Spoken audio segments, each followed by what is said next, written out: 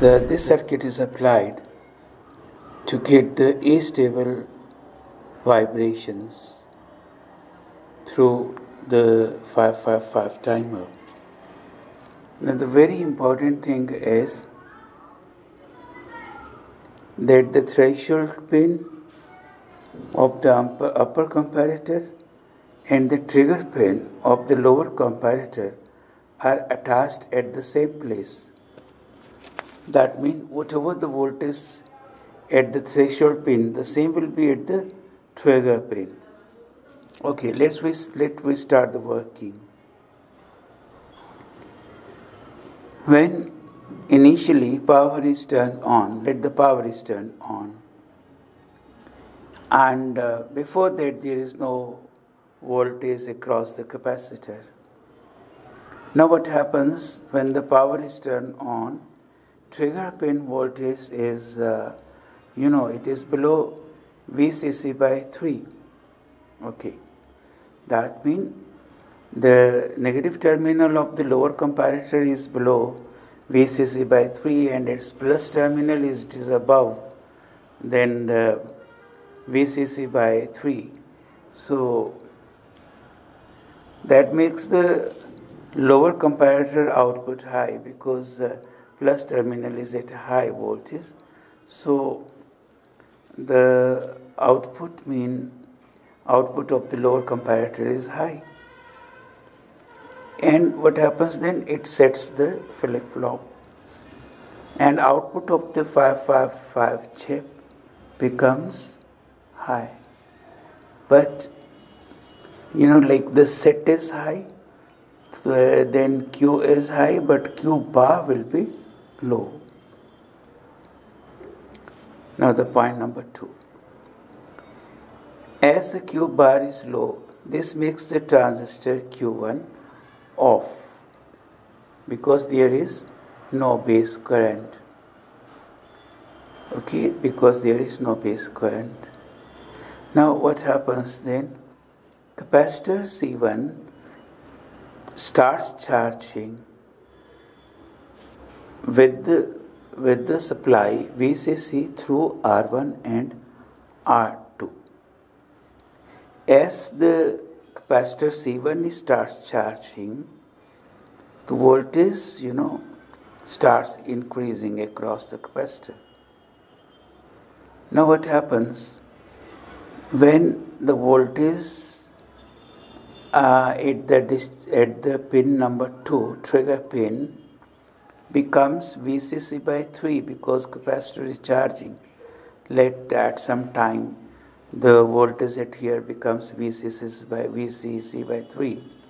Then lower comparator, you know, lower comparator output becomes low because just uh, when the pin 2 crosses the voltage VCC by 3, then the negative voltage becomes higher than the positive. Output of the lower comparator becomes low. And uh, on the other hand, at the same time, upper comparator is also low. But you know, flip flop output remain the same. When both the inputs of the flip flop is low, output, uh, whatever they are, they exist the same as the previous output remains. As the previous output was uh, output of 555 timer was high, so now it remain high.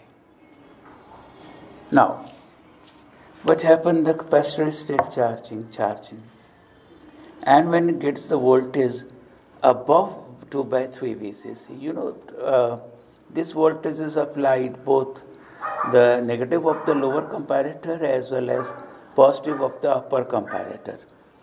So when the voltage at the upper comparator just exceeds 2 by 3 VCC, you know what happened.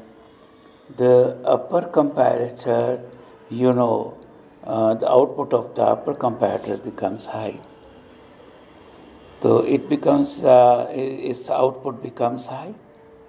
If the uh, if the output of upper comparator becomes high, I mean it resets the flip flop. Reset, you know the meaning of the reset. Reset mean now the Q becomes uh, low and Q bar becomes the high. Q bar becomes high means the output of 555 timer becomes low. As soon as the output of the 555 gets low, now what happened because uh, Q bar is high, high mean base current is uh, there is base current through the transistor Q1. Q1 transistor becomes on, and what happened? Now the capacitor C1 starts discharging through uh, through the transistor Q1. Okay, uh, through the uh, C1 starts discharging through Q1, uh, through Q1 as well as through R2, through R2 also. Now, as the voltage starts going down and it comes below the 2 by 3 VCC, when it comes below 2 by 3 VCC of the upper comparator, you know, then the upper comparator output becomes low and uh, lower is uh, output of the lower comparator is already low. So both are low, but if the both are low, the previous states exist. The SR flip flop remains in the previous state as the, both the comparators are low. Now, as the discharging is continue and at, at some time when it reaches at VCC by 3, you know, that is also, it is that the trigger pin 2 and when it just uh, uh, going below VCC by 3, what happens? The lower comparator the output of the lower comparator becomes high. That means set high. That means Q high and Q bar low. Q bar low means the output is again high. So output of the 5-5 timer again becomes high. And uh, transistor because Q bar is low, transistor again becomes off. And transistor is off, so if the transistor is off, uh, so again the capacitor starts charging. Okay, capacitor starts charging. This char- charging and discharging of the capacitor continues, and a rectangular oscillating output wave form is generated. While capacitor is getting the charge, the output of 555 is high. While capacitor is getting the charge, the output of 555 is high. This is important. And while capacitor is getting the discharge, output of 555 is low. So this is called astable mode because none this is called astable because none of the state is stable and 555 automatically interchanges state from high to low and low to high. So that's why it is called free running multivibrator. Now in the waveform, it is shown the time t1 for high and time t1 for low.